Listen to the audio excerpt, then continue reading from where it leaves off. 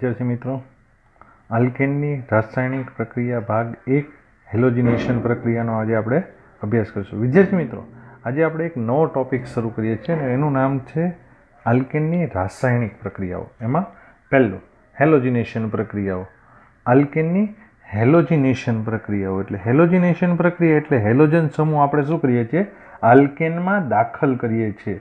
Halogenation પ્રક્રિયાની અંદર halogen સમૂહ આપણે આલ્કેનમાં દાખલ કરીએ છીએ. હવે હેલોજન તરીકે આપણે એક્સ ઘટક તરીકે આપણે કોનો ઉપયોગ કરીએ? ફ્લોરિન, ક્લોરિન, બ્રોમિન અને આયોડિન. હવે આ હેલોજિનેશન પ્રક્રિયા આપણે ફ્લોરિન અને આયોડિન માટે બહુ વાપરતા નથી. મુખ્યત્વે વાપરીએ છીએ કોની માટે? ક્લોરિન અને બ્રોમિન માટે. કેમ નથી વાપરતા? કયા માટે વાપરીએ છીએ, એના કારણો આપણે સમજશું. સૌથી પહેલાં આપણે, સૌથી પહેલાં હેલોજિનેશન પ્રક્રિયાને એક સાદા ઉદાહરણ દ્વારા દર્શાવીએ, મિથેન લઈએ. સીએચ ફોર સીએચ ફોરની એક્સ ટુ સાથે પ્રક્રિયા થાય સૂર્યપ્રકાશની હાજરીમાં. જો અહીંયા આપણને કીધું છે મુક્તમૂલક વિસ્થાપન પ્રક્રિયા છે. મુક્તમૂલક વિસ્થાપન પ્રક્રિયા સૂર્યપ્રકાશની હાજરીમાં હેલોજનનો એક અણુ તૂટે. H C H three X plus H X બને. આ સામાન્ય પ્રક્રિયા. પ્રક્રિયા આપણે દર્શાવીએ છીએ. પ્રક્રિયાનો ઊંડાણપૂર્વક અભ્યાસ કરીએ. હવે ચાલો, સૌથી પહેલાં કેટલીક અગત્યની બાબતોને આપણે ધ્યાનમાં લઈએ. ચાલો, સૌથી પહેલી બાબત છે રિએક્ટિવિટી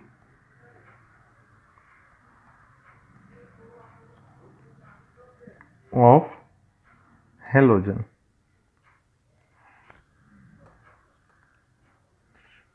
હેલોજિનેશન ચાલો રિએક્ટિવિટી ઓફ હેલોજિનેશન સૌથી વધારે સક્રિય તો અહીંયા આવશે એફ ટુ પછી આવશે સીએલ ટુ પછી બીઆર ટુ અને પછી આઈ ટુ હવે આપણે હમણાં થોડીક વાર પહેલાં કીધું તો આ રીતે આપણે ફ્લોરિન બનાવતા નથી ને અહીંયા ફ્લોરિનની સક્રિયતા સૌથી વધુ છે.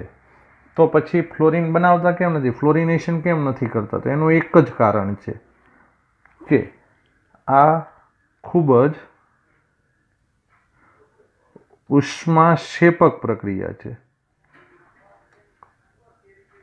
અને ખૂબ જ ઉષ્માક્ષેપક પ્રક્રિયા હોવાથી વિસ્ફોટક પ્રક્રિયા આપે. એટલે પ્રક્રિયાનું નિયંત્રણ આપણે કરી શકતા નથી. માટે આપણે ફ્લોરિનેશન એટલે કે ફ્લોરોઆલ્કેન આ રીતે બનાવતા નથી. આઈ ટુ સાથે શા માટે ઓછી કરીએ છીએ? અથવા તો નથી કરતા. તો એનું કારણ આ ઉષ્મા શોષક પ્રક્રિયા છે. પ્રક્રિયા ઉષ્મા શોષક છે અને પ્રતિવર્તી છે.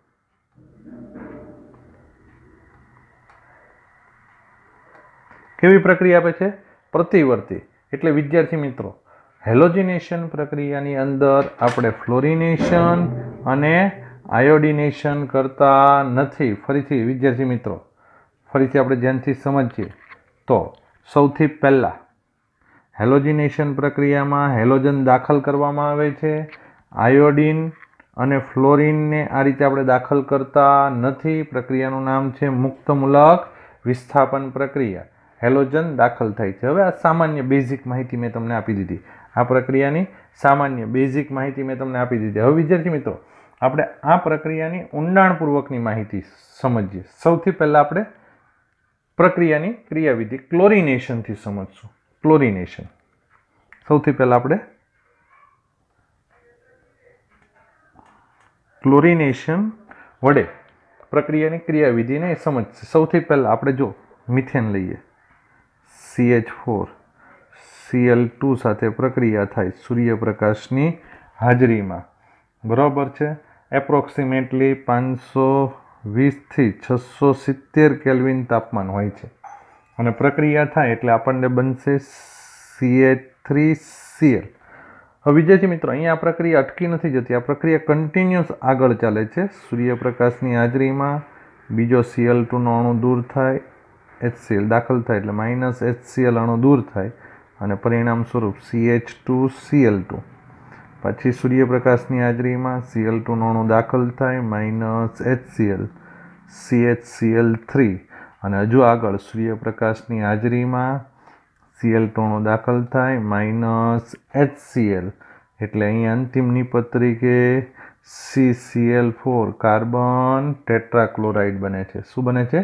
Carbon tetrachloride. હવે જો આ પ્રક્રિયા સતત શરૂ રહે છે, એનો આધાર કોના ઉપર હોય છે? જો ક્લોરિન વધુ પ્રમાણમાં હોય, તો આ ત્રણ નિપજનું મિશ્રણ મળે. અને મિથેન વધુ પ્રમાણમાં હોય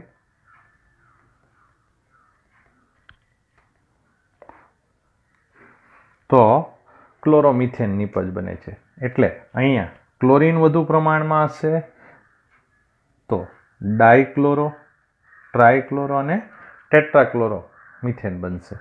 પણ જો મિથેન વધુ પ્રમાણમાં હશે તો ક્લોરોમિથેન વધારે મળશે. મુખ્ય નિપજ તરીકે ક્લોરોમિથેન મળે. આ આપણી મુખ્ય નિપજ થાય. ક્યારે?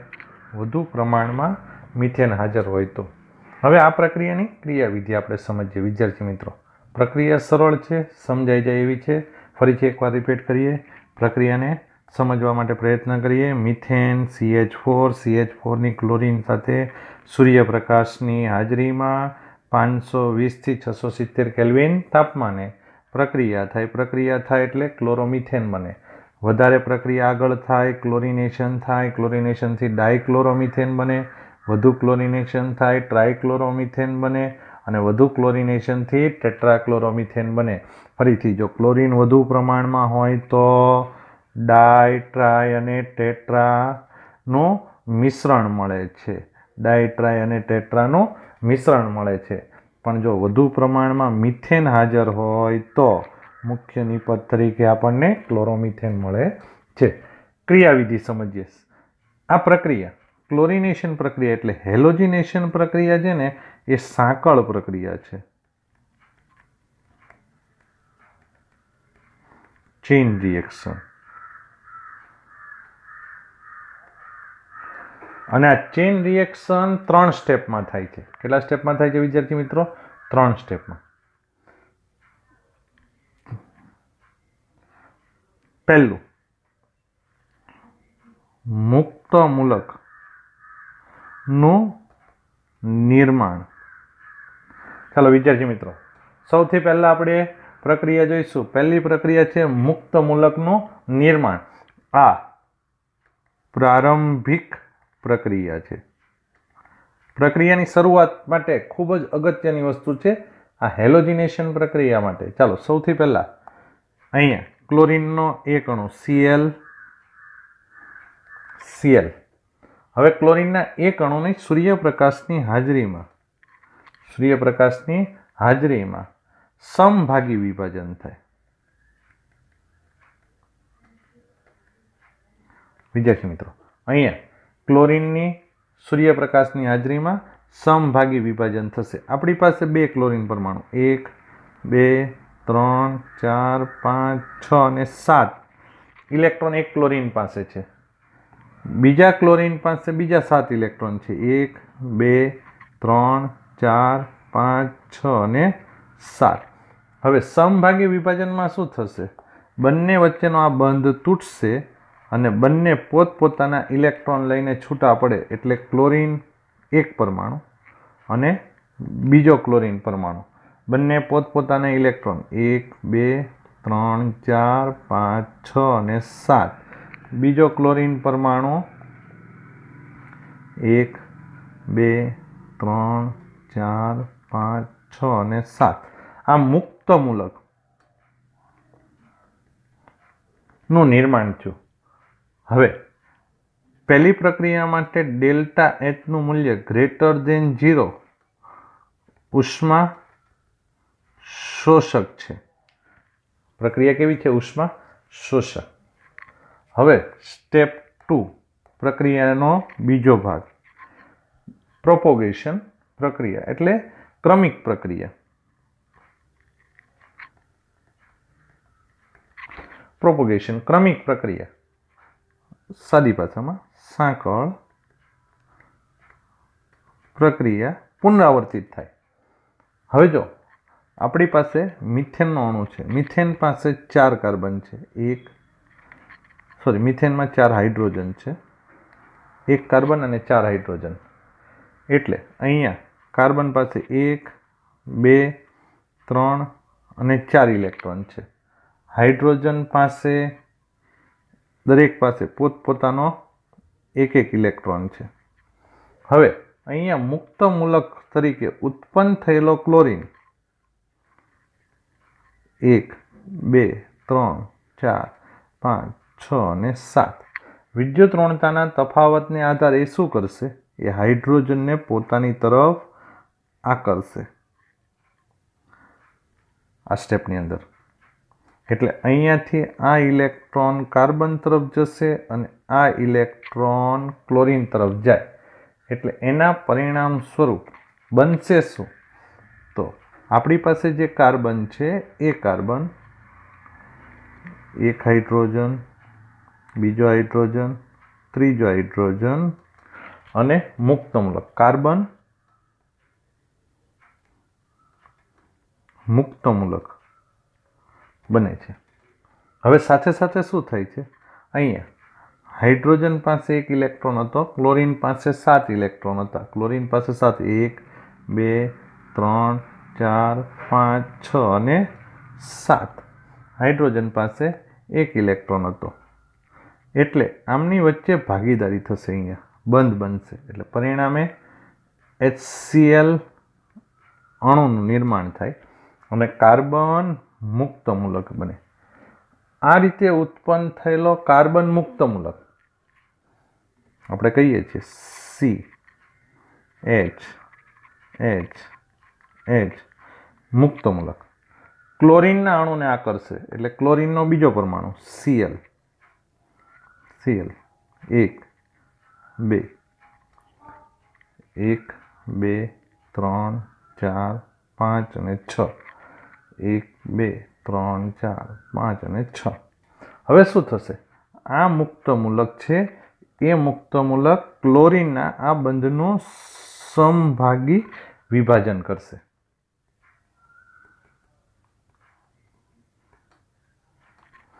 હવે સમભાગી વિભાજન થાય એટલે આ ઇલેક્ટ્રોન ક્લોરીન સાથે જોડાય.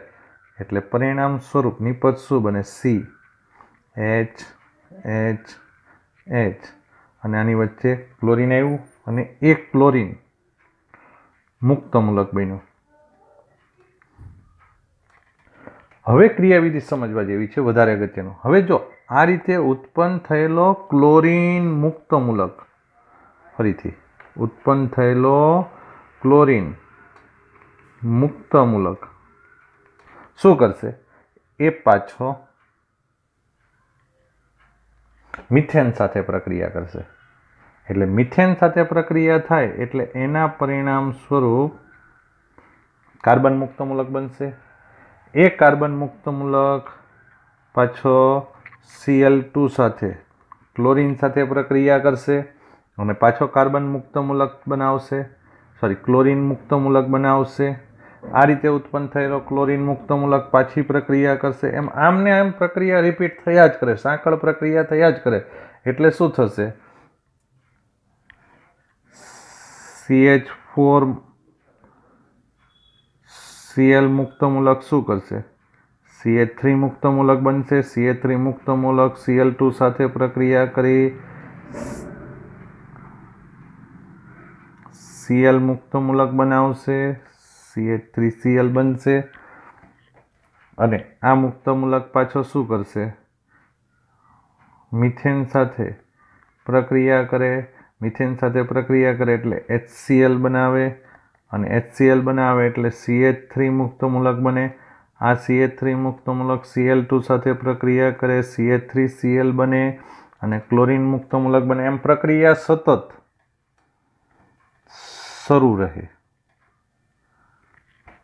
એટલે પ્રક્રિયા સતત શરૂ રહે છે ચેઇન પ્રક્રિયા, સાંકળ પ્રક્રિયા, કે સીએચ થ્રી મુક્ત મૂલક બનશે, ક્લોરીન મુક્ત મૂલક બનશે સીએચ થ્રી મુક્ત મૂલક બનશે, ક્લોરીન મુક્ત મૂલક બનશે સીએચ થ્રી મુક્ત મૂલક બનશે, ક્લોરિન મુક્ત મૂલક બનશે. પ્રક્રિયા સતત ચાલુ રહેશે.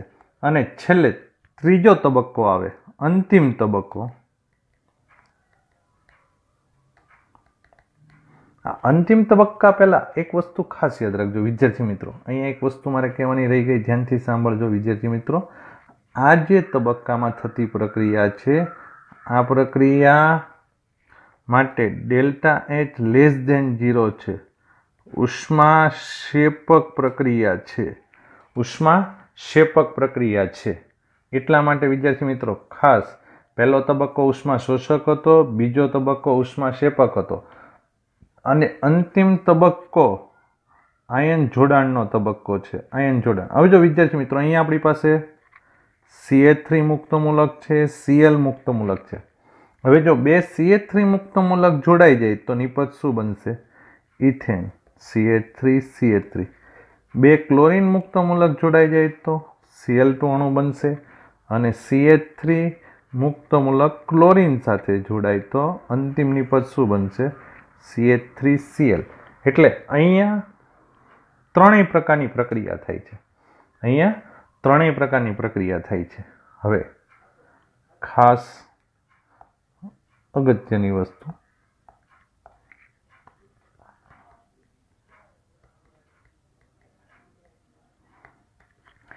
પહેલા તબક્કામાં બંધ તૂટે છે. એટલે બંધ તૂટે છે એટલે આપણે એવું કહીએ છીએ કે ભાઈ, બંધ તૂટવા માટે એક્સ ટુમાંથી એક્સ મુક્ત મૂલક અને એક્સ મુક્ત મૂલક બને. તો બંધ,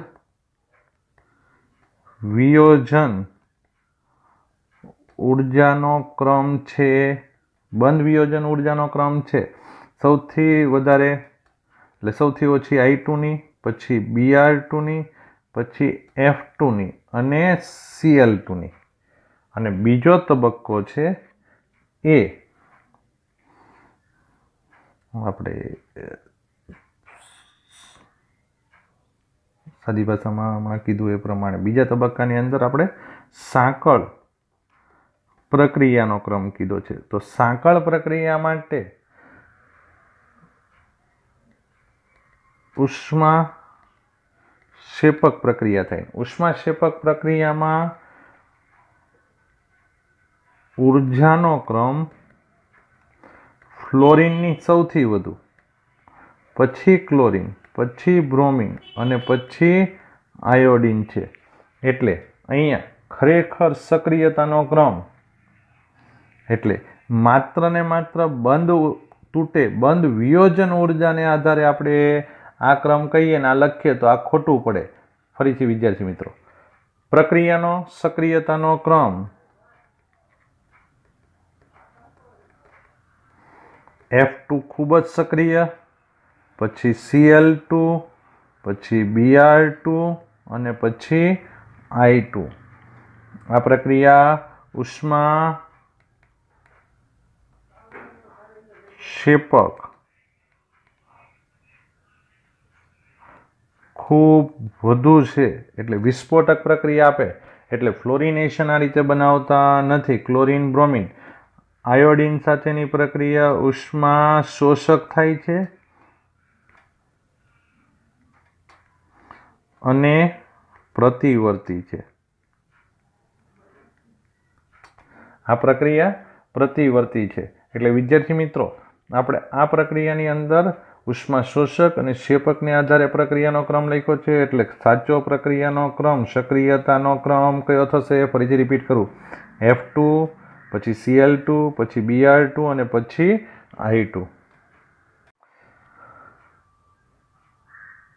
વિદ્યાર્થી મિત્રો, આજે આપણે હેલોજિનેશન પ્રક્રિયાની ક્રિયાવિધિનો અભ્યાસ કર્યો છે.